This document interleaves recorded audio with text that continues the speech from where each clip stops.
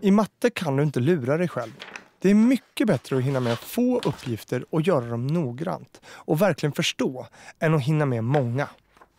Om du inte förstår, då måste du vara ärlig mot dig själv och gå tillbaka till någonting som du faktiskt fattar. Det är viktigt.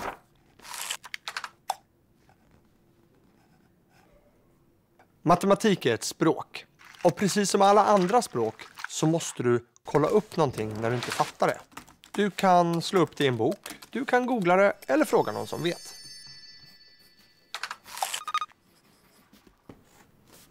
Bryt ner uppgiften till många delproblem. Ett väldigt stort problem kan behöva brytas ner till många delar som du löser var för sig. Kontrollera alltid dina resultat. Till exempel genom att stoppa in dem i ekvationen du just löst igen och se så att det funkar åt båda hållen.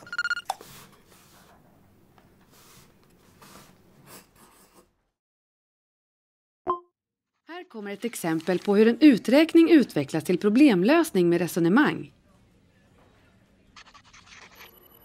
Mattetalet är så här. En räddningsbåt ska hjälpa ett fartyg i sjönöd, två sjömil bort. Räddningsbåten färdas nu med en hastighet av 8 knop. Går det att beräkna när hjälpen kommer fram?